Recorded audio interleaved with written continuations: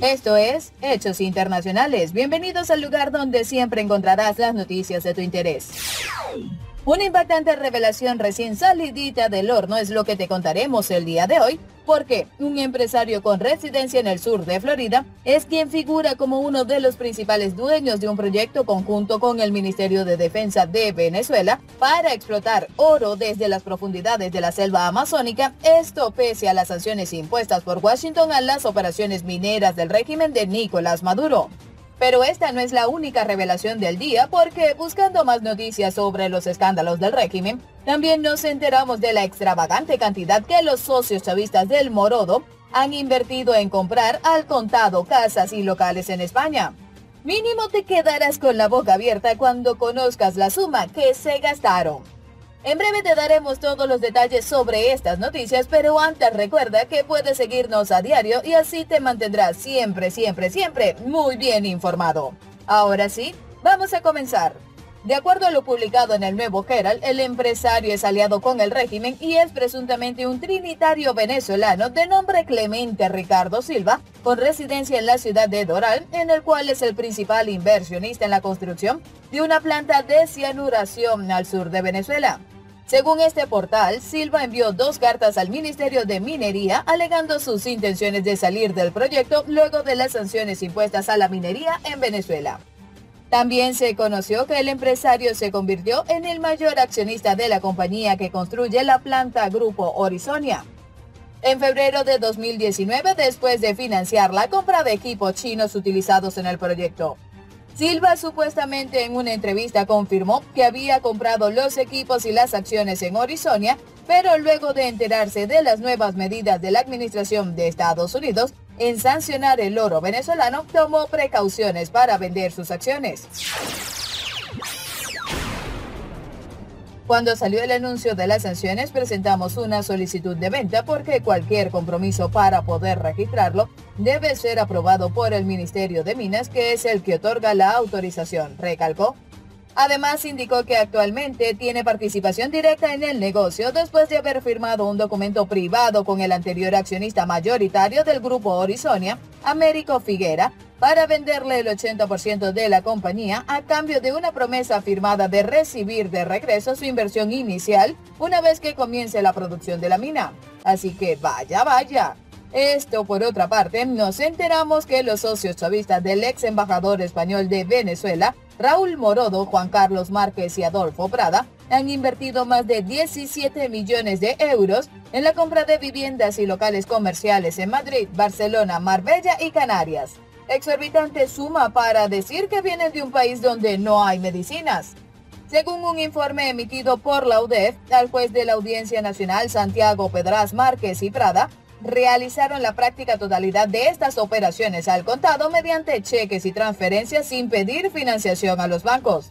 Los agentes de la UDEF han podido acreditar que al menos 4.3 millones de euros del dinero invertido proceden de la petrolera estatal PDVSA controlada por el gobierno de Nicolás Maduro.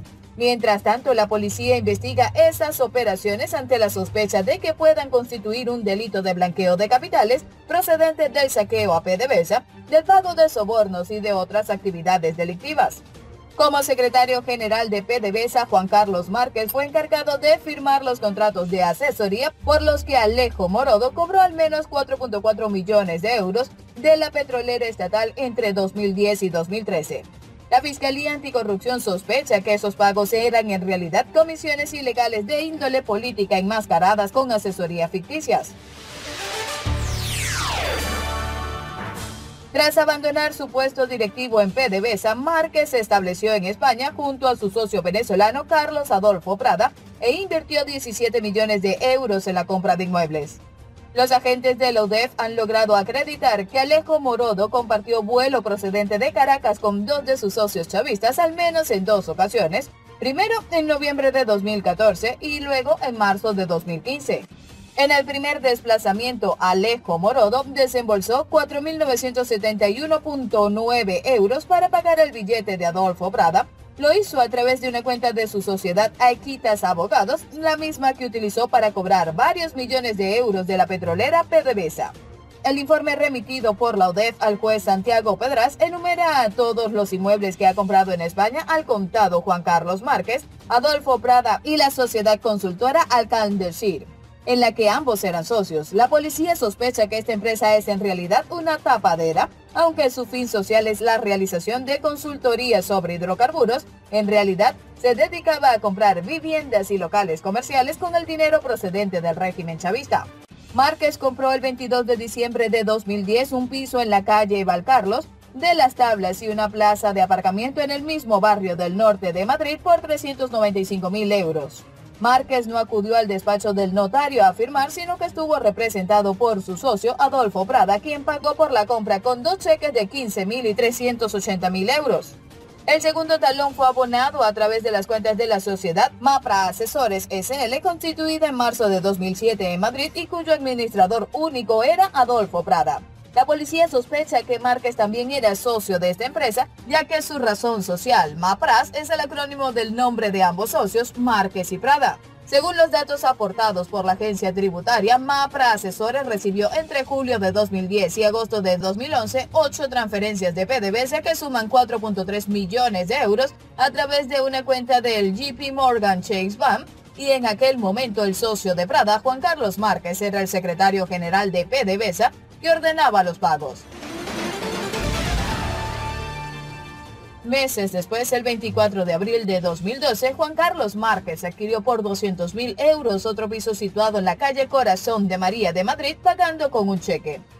Y el 4 de febrero de 2013 compró por un precio declarado de 1.020.000 euros un chalet en el camino Huerta de la capital, próximo a la lujosa urbanización de La Moraleja. De nuevo, puesto que todavía no ha logrado regularizar su situación en España, Márquez estuvo representado en el despacho del notario por su socio Adolfo Prada, quien pagó la operación con varios cheques, uno de ellos de 396.529 euros y dos de 281.285 euros.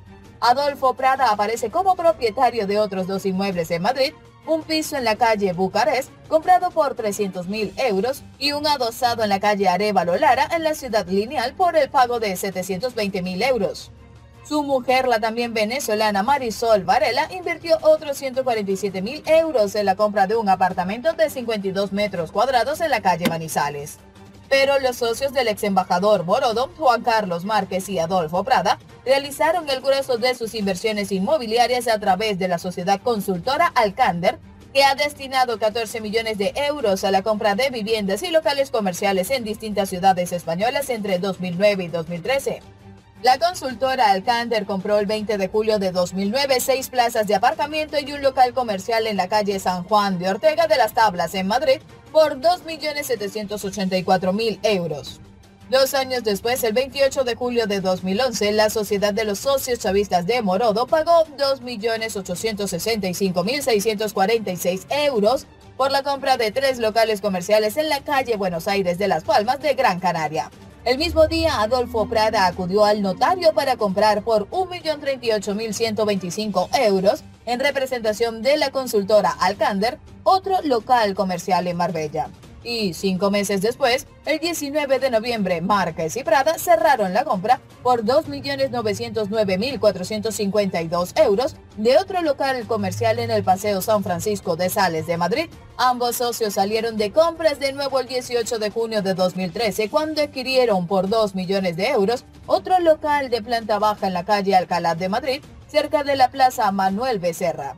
Pagaron 40.000 euros de señal y el resto mediante una transferencia.